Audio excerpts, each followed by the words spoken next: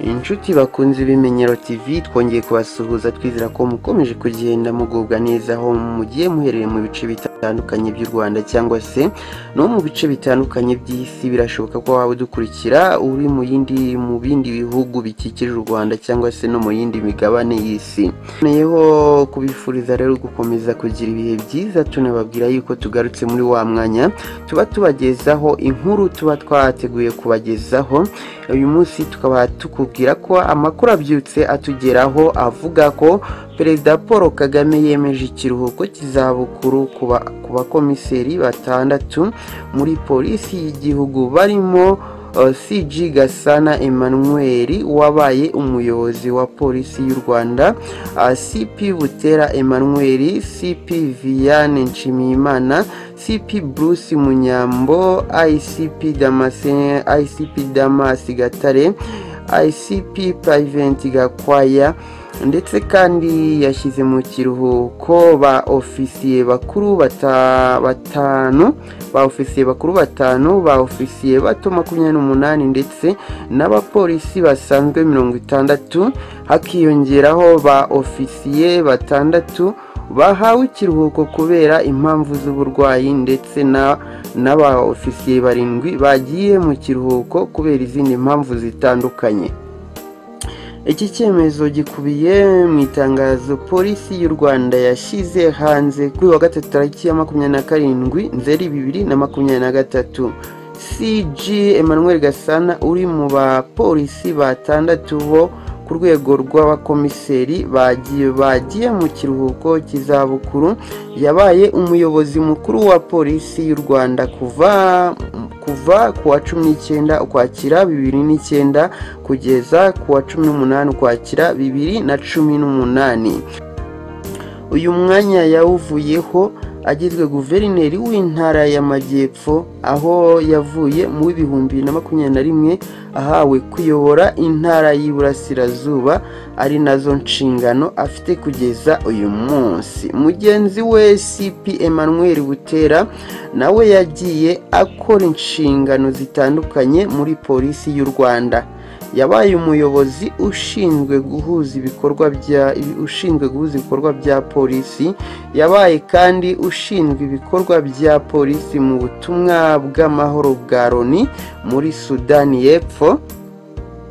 Uretse izi nshingano kandi uyu mugabo yabaye n'umuyobozi w'ikigo cya polisi y'u rwanda cyigisha ibyo kurwanya iterabwoba cyangwa se counter terrorism training center kiri mayange.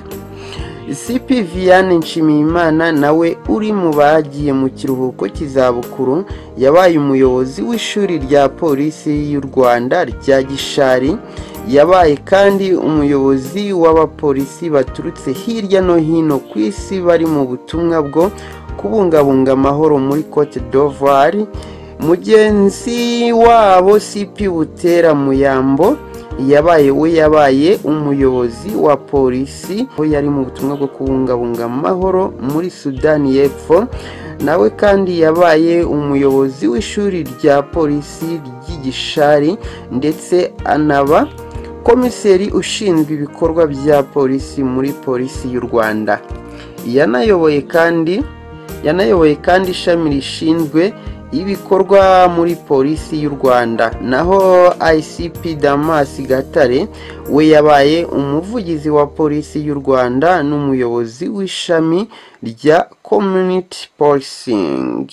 Ngayo nguko rero ayo aba ari amakuru abyutse atugeraho natwe tukavuga tuti nyamuneka reka turebe uburyo twayabagezaho kuko birashoboka yuko uba utabashije kuba wajya ku mbuga zitandukanye ngo uyabone cyangwa se utabashije kuba wakurikira radiyo yewe ga buriya rega hari n'abantu badakunda gusoma mu bitangazamakuru cyane cyangwa se ngo bakurikire amaradiyo ariko noneho ugasanga bikundira kumva amakuru aba yagiye anyura kuri yutubi ari na yo mpamvu twahisemo ko tuzajya tubagezaho amakuru ya nyayo apana bya bindi byo kubeshyabeshya. No tuzajya tubagezaho amakuru ya nyayo tuyasohotse mu bitangazamakuru cyangwa se amakuru y'ibyagiye bibera hirya no hino ariko noneho ya makuru twiboneye apana amakuru y'imbarirano. Kuko turabizi ko muri iyi minsi hari abantu benshi bagenda bakwirakwiza ah, ibihuha.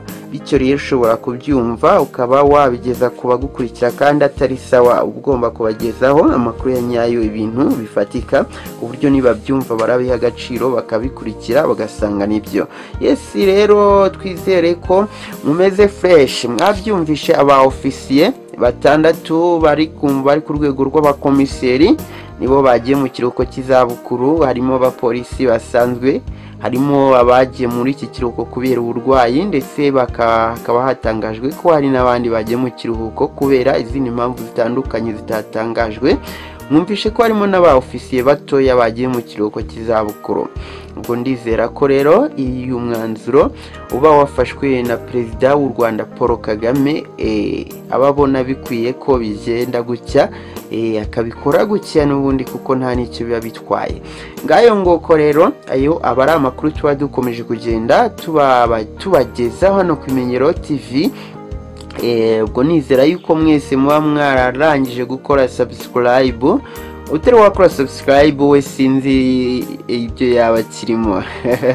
Yes utari wakora subscribe nyine birumvikana yuko iki ari cyo gihe cyo kwihutira iki ari cyo gihe cyo kwihutira kuba yayikora kugira ngo amakuru yacu cyangwa se update zacu zitazajya zimucika ndetse mukibuka no gukanda ku kazogera kuko iyo ukanze subscribe gusa ego ni sawa ariko biba byiza iyo wibutse gukanda ku kazogera kugira ngo wemeze ko notification zizajya zihita zikugeraho ako kanya tucyapudetinga inkuru runaka.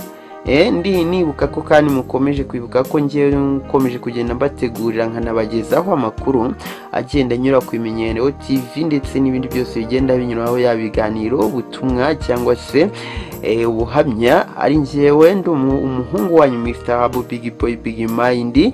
Mbabwira ko mbakunda cyane kandi mbibutsa ko turakomeza kugenda tubana.